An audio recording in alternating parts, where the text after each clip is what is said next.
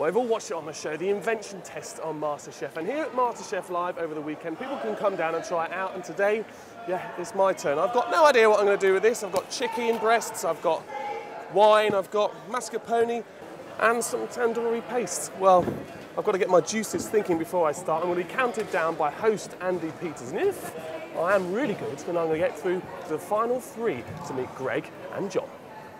So, with the intense beats blaring out and a studio audience, yeah, it really was like the pressure on the show. And I was totally comfortable with my new innovative invention. What are you giving me that for? I, no, no need for that at all. Trust in me here. Some sort of uh, chickeny, stroganoffy. Uh, well, no, it's going to be chicken and cheese with bacon on rice with a bit of broccoli and white wine. So not stroganoff at all, really. I'm going to throw that in at the end.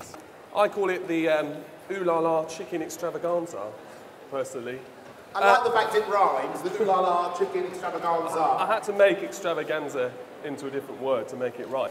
Last thing, Well, like it'll just. I think I think you should probably put it in a little bit earlier. Yeah. Yeah, 'cause I think it will take off, or cut it up a bit finer. Always listen to the professionals, that's what I thought, so I couldn't help but take his advice. And soon it was time to plate up and see, well, whether the judges thought it was worthy of eating my dish. What? What? Not, not in the top four? God, not winner?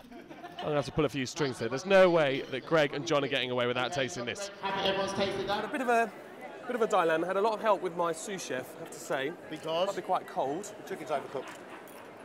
Sure. First mistake. Yeah, and put the broccoli and the chicken slightly over. Put the broccoli starting to take the flavour of the chicken. Okay. Drop your broccoli in last.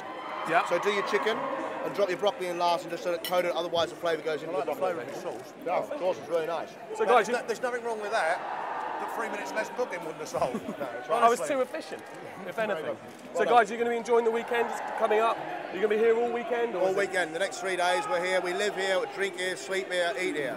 and you really enjoy MasterChef every year. Oh my God, look at us. We love it. We absolutely love it. Absolutely Let's get it. everyone down here over the weekend and enjoy your company and all Ab- the fabulous Absolutely. Get chefs here as as well. many people as you possibly can. Invention test, stuff on stage, food producers. Just great fun. Great, great fun. and food a little bit better than that. Thanks, Thank you very much, So it doesn't get tougher than this, does it? No, not at all. I'm really Nick. still sweating it out. Thank Thanks you very very much. Cheers, guys. Thank you. I was right. Put the broccoli in last.